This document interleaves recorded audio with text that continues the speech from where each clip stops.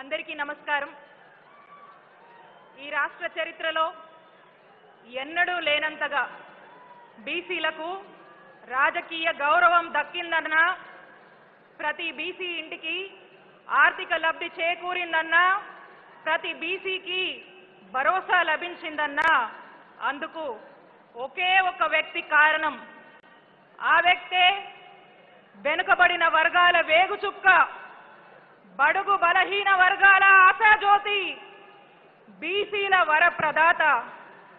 బలహీన వర్గాల జీవితాల్లో వెలుగులు నింపిన జన నేత.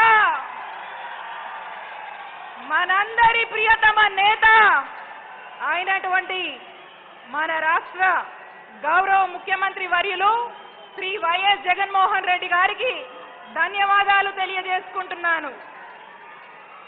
ఈ సందర్భంగా ఈరోజు ఈ కార్యక్రమానికి వచ్చి వేదిక మీద ఆసీనులైనటువంటి నాయకులకు నా నమస్కారాలు.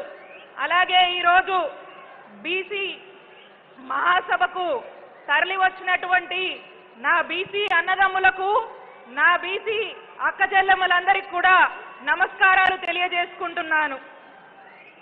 బీసీలు అనగానే మన అందరికీ గుర్తొచ్చేది మహాత్మా జ్యోతిరావు పూలే గారు. మరి ఈరోజు మన ఆంధ్రప్రదేశ్ రాష్ట్రంలో పూలే గారితో పాటు ఈరోజు మన గౌరవ ముఖ్యమంత్రి వర్యులు వైఎస్ జగన్మోహన్ రెడ్డి గారిని గుర్తు చేసుకుంటున్నారు మన బీసీలు. పూలే గారు అంటరానితనం పోవాలని కుల వివక్షను నిర్మూలించాలని బలహీన వర్గాల వారి బానిసత్వ సంఖ్యలను పెంచాలని పద్దెనిమిదవ శతాబ్దంలోనే పూలే గారు పోరాడారు. నూట యాభై ఏళ్ళ కిందట జ్యోతిరావు పూలే గారు ఏవైతే పోరాటాలు చేశారో మరి సరిగ్గా ఈనాడు మన జగనన్న ఈ మూడున్నరేళ్ళ కాలంలో ఇవన్నీ కూడా ఈరోజు ఈ ఆశయాలు నెరవేరుస్తూ ఇదిగో ఈరోజు ఈ వేదిక మీదున్న ఈ వేదిక ముందున్నటువంటి ప్రజాప్రతినిధులందరూ కూడా నిలువెత్తు సాక్ష్యము అని ఈ సందర్భంగా తెలియజేస్తున్నాను. ఎప్పటి నుండో అనగారిన వర్గాలుగా మిగిలిపోయిన మనకు ఈరోజు ఆత్మ గౌరవాన్ని ఇచ్చినటువంటి నాయకుడు మన జగనన్న. అందే అంబేద్కర్ గారు పూలే గారు లాంటి వాళ్ళ ఆలోచనలు వాళ్ళ ఆశయాలకు ఈరోజు సామాజిక విప్లవం అని రావాలని వాళ్ళు ఏదైతే ఆకాంక్షించారో ఈరోజు సరిగ్గా మన జగనన్న సామాజిక విప్లవ సృష్టికర్త అని నేను అంటాను.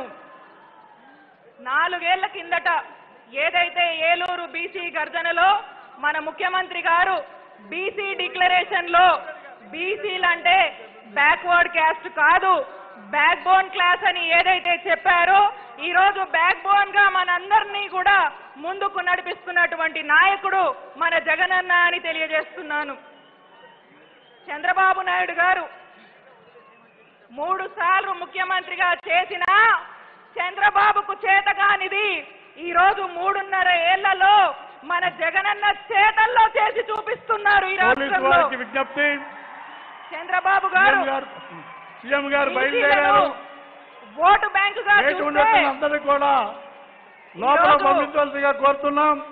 బయట ఉన్నటువంటి వాళ్ళందరూ కూడా ప్రాంగణంలోకి రావాల్సిగా కోరుతున్నాం.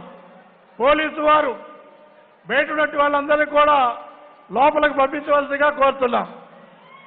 చంద్రబాబు బీసీలను ఓటు బ్యాంకుగా చూస్తే ఈ రోజు మన జగనన్న బీసీల గుండెల్లో చోటు సంపాదించుకొని ఈ రోజు మనందరికి కూడా మేలు చేస్తా ఉన్నారు. వెనుకబడిన కునానకు చంద్రబాబు వెన్నుపోటు పడిస్తే ఈ రోజు అదే వెనుకబడిన కులాలకు ఈ రోజు జగనన్న వెన్ను దన్నుగా నిలిచారు. ఎన్టీఆర్ గారు ఎన్టీఆర్ గారు అంటూ చంద్రబాబు నాయుడు గారు పిల్లనిచ్చిన మామకు ఏ విధంగా వెన్నుపోటు పొడిచారో అదే విధంగా బీసీలు బీసీలు అంటూ చంద్రబాబు నాయుడు గారు మన బీసీలందరికీ కూడా వెన్నుపోటు పొడిచారు. మరి మీ అందరికీ తెలుసు చంద్రబాబు బీసీల తోకలు కత్తిరిస్తానని అవమా- అవమానించాడు. తోలు తీస్తా అని దెబ్బ బీసీలందరినీ కూడా దెబ్బతీశాడు. అంత చూస్తానంటూ ఎలా బెదిరించాడో మనందరికీ తెలుసు. సంగతి తేలుస్తాయని చంద్రబాబు నాయుడు గారు వార్నింగ్ ఇచ్చిన విషయాలు మీ అందరికి కూడా తెలుసు. నోరెత్తితే చాలు. బీసీలను ఏ విధంగా అవమానించాడో అందరం కూడా చూశాము. ఎన్నికలు వస్తే చంద్రబాబు నాయుడు గారికి బీసీలు గుర్తొస్తారు. ఒక్కసారి చూసుకుంటే చంద్రబాబు నాయుడు గారి జగ చంద్రబాబు నాయుడు గారి ఐదేళ్ళ పాలనలో బీసీలకు సంక్షేమానికి ఖర్చు చేసింది ఎంతో తెలుసా? కేవలం పంతొమ్మిది వేల కోట్లు మాత్రమే. అదే మూడున్నరేళ్ళలో జగనన్న ప్రభుత్వంలో జగనన్న ఎంత ఖర్చు చేశాడో తెలుసా? జగనన్న ఒక లక్ష అరవై మూడు వేల కోట్లు జగనన్న ప్రభుత్వం మూడున్నరేళ్ళలో ఖర్చు చేసింది.